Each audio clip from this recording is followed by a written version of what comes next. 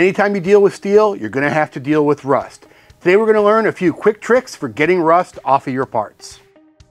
We're not talking about structural rust. We're not talking about a rusty hood or a rusty fender. We're talking about rusty brackets, rusty hardware, the rusty pieces that come off and need to go back on, but looking and performing a little nicer than they do when they are covered with oxidation. So how do we get that rust off of there? Well, there's a few common things that we do in the Grassroots Motorsports shops to deal with rusty pieces. We're gonna talk about a few of those.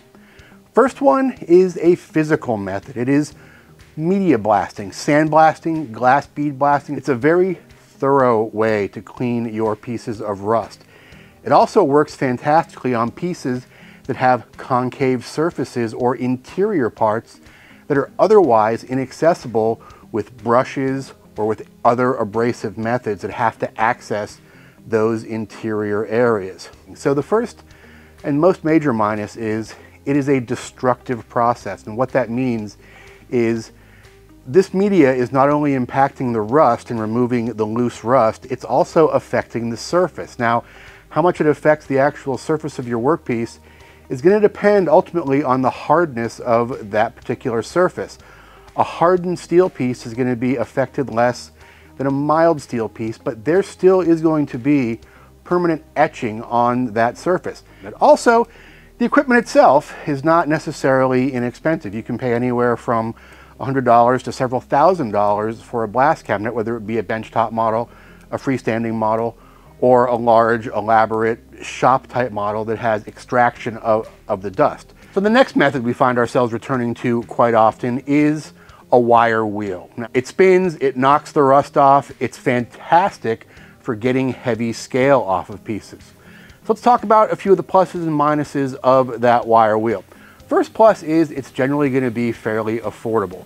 Some of the minuses, though, is unlike media blasting or chemical methods, it's very difficult to do concave pieces sometimes or to do pieces with interior parts that also need to be cleaned off.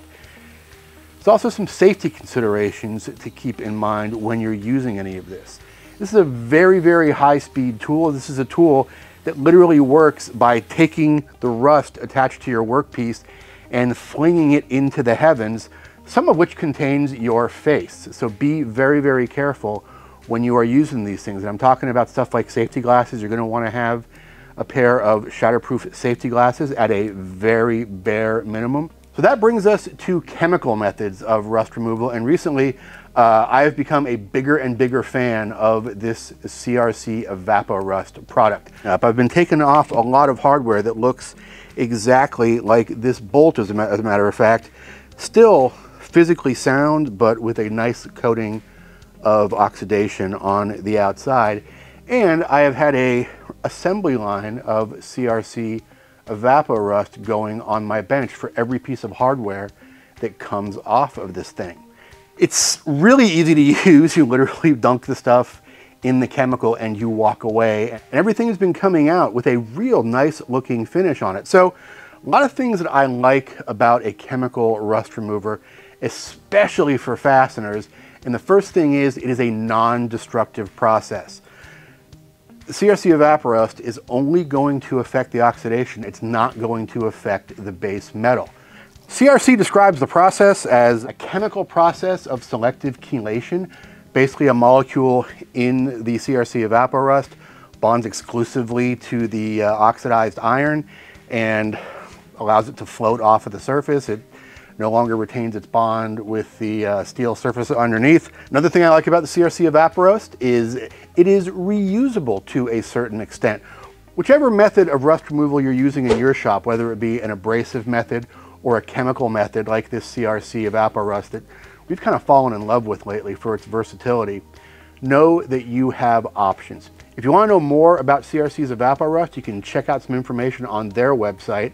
And if you'd like more tech tips from Grassroots Motorsports, subscribe to our channel. Please like this video while you're here, and you can check us out on the web at grassrootsmotorsports.com. We'll see you out in the shop next time. Support brands that support grassroots motorsports. Get your chemical solutions from CRC Industries. Visit crcindustries.com to learn more.